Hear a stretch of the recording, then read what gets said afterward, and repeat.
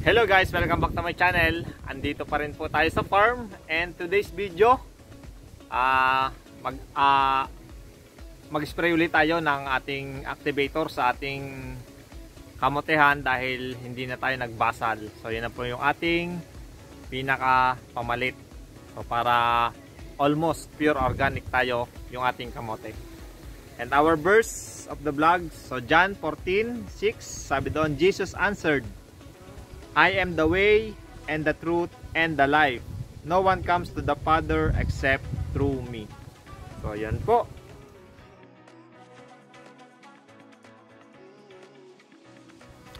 And John, bago tayo magpatuloy, shoutout muna sa ating mga kaibigan, supporters, viewers, and subscribers. So, maraming salamat po. Uh, na-reach na po natin yung 4,000 subscribers. Thank you sa inyong lahat. At uh, patuloy lang po tayo na gumagawa ng mga content na uh, nawa ay nakakatulong din sa inyo. Kahit na yung iba ay more on dito lang kami sa farm. So, pero uh, pag na-settle naman natin to ay baka uh, mag-farm visit tayo. So, yon Shoutout muna kay Inay at kay Kian. Yan, shoutout. Yan, shoutout, shoutout muna kay Inay at shoutout kay Kian. Ayan. Shoutout muna kay Inay, shoutout kay Kian. Hindi na hindi nakasama tulog. Ana! Kay Ma'am Vance Farming, shoutout Ma'am. Kay Marlon Bernardo Fernandez, shoutout sir. At kay Bomberong Farmer TV. Shoutout din kay Ma'am Jodalyn na taga Santo Tomas, yung ating binisita ng last vlog. JB Painter, Jeboy Pakupat, Sir Richard Magracia, Lemuel Antiga ng Bohol, Magsasaka Vlog TV, Ricky Abawag, Teris Kate Sahot, Ma'am Lani Sandoval, Mark Anthony Alonso, Sir Yamomo Backyard, Sir George Manato, shoutout sir. Ah, kay Drew Kodamek at kay Ruby Garcia and Ray Piñarias. So yun po, shoutout po sa inyo lahat. And without further much ado, let's go na po. So yun guys, bali nakatanim na tayo ng kamote. Hindi nga lang nagkasabay-sabay dahil sa mga hindrances na ating uh, hinarap. So, bali may pagitan sila ng tatlo hanggang apat na araw. Pero okay lang naman yon Tayo na lang mag sa pagpapaararo. Ngayon, uh, sa land prep, 7 uh, days before tayo nagpaararo or more than 7 days pa nga nangyari, nag-spray na tayo nung activator na CHC Agritech na tayo din po ay distributor kung sakali na uh, gusto nyong mag-order din or gumamit, subukan yung te Japanese technology, advanced technology ay pwede nyo pong kontakin ako. Nandiyan lang po sa description below. So ano po ba yung activator? Ito po yung activator. Ito po ay uh, meron siyang mga biofungicides tapos master decomposer. And meron na rin po akong video about activator. Nandyan lang po sa ating mga videos kung gusto nyo yung mas malalim or mas madami-daming explanation. Ngayon, uh, ang kaya po nito ay isang drum na ganito. Nasa 200 liters na tubig. Yan, bali, yan, walang laman. Basta yung laman po nito, 200 liters or siguro nasa 10 knapsack na tig 20 liters. So yun po yung uh, kasya dito sa isang kilo. Tapos, uh, kaya na po niyang uh, i-occupied yung 1 hectare natin na uh, area or lupa.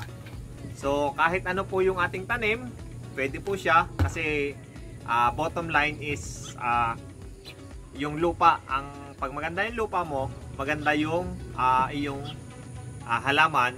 Tapos, kumbaga, additional na lang yung ating uh, management kasi meron pa ring mga uh, insekto may, may, may, yung weather yan bagyo mahangin yan kaya ngayon mahangin na naman dito sa amin pero praise God hindi tayo masyadong nagwo-worry dahil kamote nga yung ating tanim unlike dati na ang palaya pagka ganitong mahangin ay talagang sobrang stress ng mga ampalaya. Yan, kaya praise God na ngayon kamote muna tayo. And then kahapon ah, nag-spray na ako. Bali ito po ay 500 grams na lang kasi kahapon ah, nagbabad na ako. Ito na po yung ibinabad ko. Yan. Yan. Kasi po ah kaya naman kaya naman po siya Bale ito po magbababad ulit tayo. Ito na nga yung ito na yung ating idadagdag. Ito yung binabad natin kahapon. Ah, nilagay hindi ko na lang siya tinanggal kasi sayang baka may mga microorganisms pa siya. Okay lang naman 'yan. Pero 'yon, at least ay ah, nakapag-spray na tayo ng kalahating hektarya. So pwede naman po siyang isahang drum na agad kung marami kayong nag-spray o kaya kaya niyo tapusin sa isang isang spray yan yung isang hektarya. Pero ako po kasi hindi ko kayang tapusin ng isahan kasi masyadong ma- mangalay sa balikat. So kahapon po nakapag-spray ako ng limang knapsack sprayer, yung ganito. Limang puno. So tigta 20 liters po siya. Kaya lima yung ating na-spray halos half hectare or more than half hectare. And then mamayang gabi, mamayang hapon uli, alas 4, mag-spray ulit tayo. Kasi po, ah itong ating activator, kinakailangan mo muna siyang ibabad ng 6 to 12 hours. At ngayon po ay mag-aalas 8 na ng umaga. Kaya ah, mag-spray tayo ng alas 4 mamaya. So makakababad tayo ng ah, nasa 8 oras. So yan po yung ah, naibabad natin. Tapos meron po yung bato sa ilalim, isang malaking bato para lumubog siya. Ah, na ba yung bato? Yan. Ito yung bato. Ilalagay natin yung bato para hindi siya lumutang. Kasi pagka wala niya yan, lumulutang siya. So yan. Ah, 6 to 6 to 12 hours na pagbababad. So yan po. So ito po yung ating activator. Yan. Tapos, mag-spray tayo dapat early in the morning hanggang 8 pin- maximum hanggang alas 8 ng umaga. At sa hapon naman, ah, mas maganda alas 4 ng hapon pa baba. 4, 5 or hanggang gabi na. Yan, lalagay lang natin dito.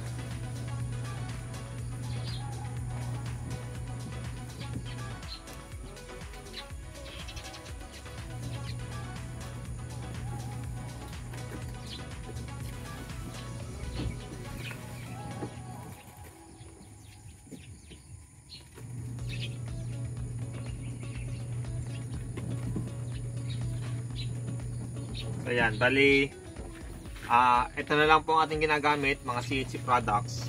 Kasi mapansin nyo, hindi na tayo nagbasal nung synthetic na abono. So kaya dito naman tayo bumabawi sa mga microorganisms. Kasi mas madaming microorganisms, mas madaming magtatrabaho para i-convert yung mga nutrients na nasa lupa at saka na nasa hangin. So, nasa hangin, ibig sabihin yun pong mga nitrogen. Kasi maraming nitrogen sa hangin. And, ang atin pong ilalagay, mga nitrogen fixers. Kasi may mga bacteria din po to na nitrogen fixers. Kaya, sila yung ah magkukondisyon ng lupa. So, meron na rin siyang ah, decomposer at saka ah, acid reducer ng lupa. So, yan po. So yung iba po, ang ginagawa ay nirerekta na dito sa tubig. Kaya lamang, pag ilalagay mo na sa knapsack ay ah bumabara sa nozzle. O kinakailangan mo pa rin ng salaan pagka maglalagay sa knapsack sprayer. Kaya ang ginagawa ko, parang ganito na lang, para siyang tibag. Tapos ilulubog mo lamang siya. Yan.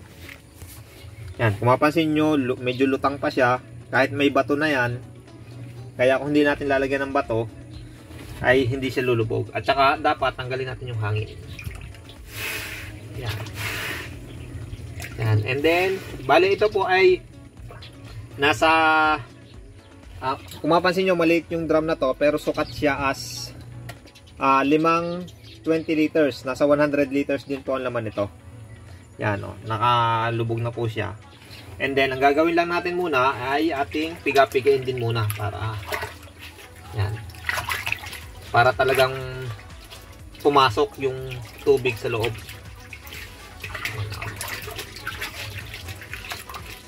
Tapos, make sure na hindi siya naiinitan ng araw. Yan o. Hayaan lang natin siya dito nakababad ng 6 to 12 hours para mag-multiply sila yung mga uh, microorganisms. And make sure na hindi chlorinated yung tubig ninyong gagamitin. Kung sakali mang chlorinated ay uh, pasingawin nyo muna ng 24 hours minimum. Ayan.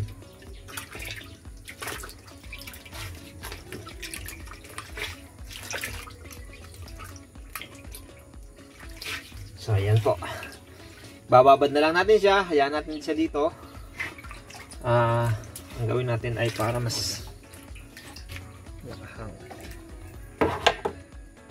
Ihang na lang natin siya. Yan.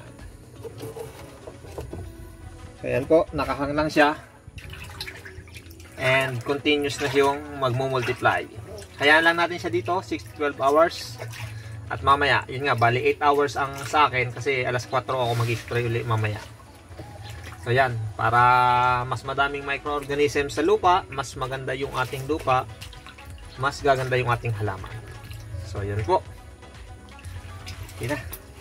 Thank you, Bossy. Yan, bali hapon na, alas 4 na ng hapon. Halos 8 oras na siyang nakababad. So yan po. Hindi natin maabot. Ah, testing natin.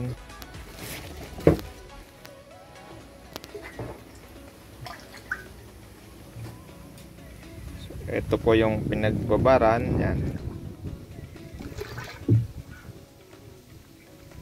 At ito na yung ating unang sprayer. Ilagay na tayo. Make sure na bagong linis yung ating sprayer lalo na kung ginamit sa insecticide herbicide fungicide, molaside, at any chemicals. So, yan po.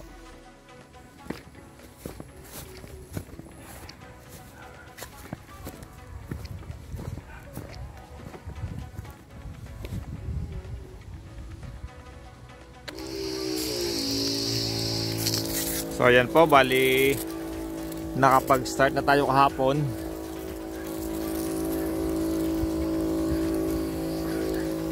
Spray lang natin sa lupa.